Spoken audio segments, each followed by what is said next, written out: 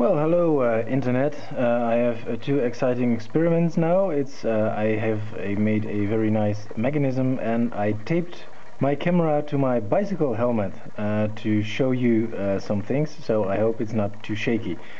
Um, today I met a friend and this friend was trying to make a mechanism to have something um, well outside what it is doesn't matter too much. So I just take a, a, a Buddy Holly CD and he wanted to um, rotate, rotate it in two uh, directions. And uh, what he made was a very nice nice looking planetary gear system. We have this inside inner gear and um, well I think you know it. If you don't know it look for it. Planetary gear system. And what he made looked very fantastic and very beautiful but also pretty expensive. So I think there is another way of doing it and for example if you want to rotate it like this that you have something like a spindle that then followed it in this direction. Um, there's two things, two problems with it. Uh, one, it's very ugly and two, um, don't know. I think it can also move uh, can also rotate if, if it's like this. I don't know. Just for the sake of doing something different, I thought, hey, maybe I can make this.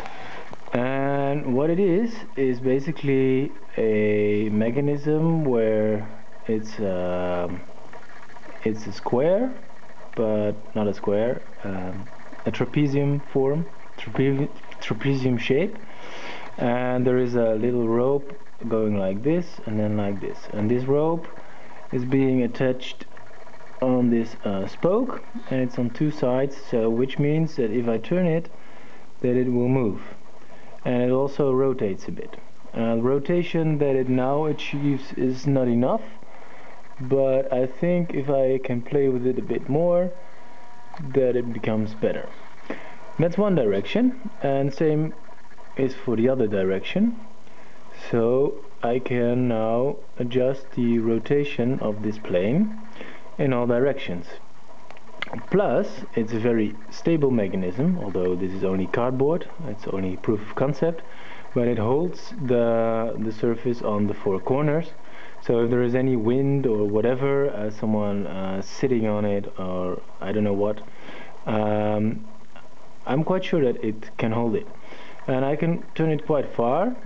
And at some point I think math comes in that the sum of the diagonals is uh, not the same as here. But I also have to investigate that. But as a proof of concept I'm really happy because it is it is really moving with a very simple and robust uh, construction that uh, we should just make so um, keep on following it because it's real nice